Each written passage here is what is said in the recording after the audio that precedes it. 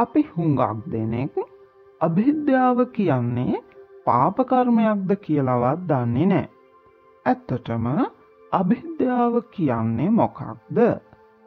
අභිද්‍යාව කියන්නේ අනුන්ට අයිති භාණ්ඩ වත්කම් වගේ දේවල් දැකලා ඒවත් තමන්ට අයිති කර ගැනීමට සිතීම සොරකම් කරන්න ඕන නෑ තමන්ට අයිති කරගන්න සිතීමත් පවක් තවදුරටත් මේ අභිද්‍යාව ගැන විමසා බලනවා නම් අනුන්ට අයිති දෙයක් දැකලා ඒ දෙය කොච්චර හොඳද කොච්චර ලස්සනද කියලා හිතුවට එය පාපකර්මයක් වෙන්නේ නෑ.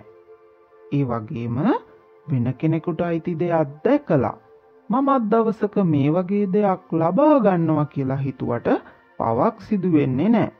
හේතුව එතනදී අපි හිතන්නේ අනුන් සතු දේ මට ලබා ගන්න ඕන කියලා නෙවෙයි. මගේ මහන්සියෙන් මගේ උත්සාහයෙන් දවසක එවැනි දෙයක් මමත් ලබා ගන්නවා කියලයි. ඒ නිසා එය පවක් නෙවෙයි. ඒ අනුව අභිද්‍යාව නම් අකුසල කර්මය සිදුවීමට නම් අනුන්ට අයිති වස්තුවක් තමන්ට අයිති කර ගැනීමට සිතීම සිදු කළ යුතුයි.